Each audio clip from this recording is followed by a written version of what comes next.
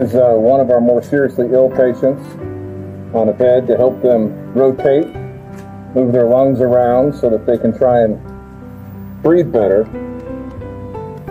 Um, this young man's very ill.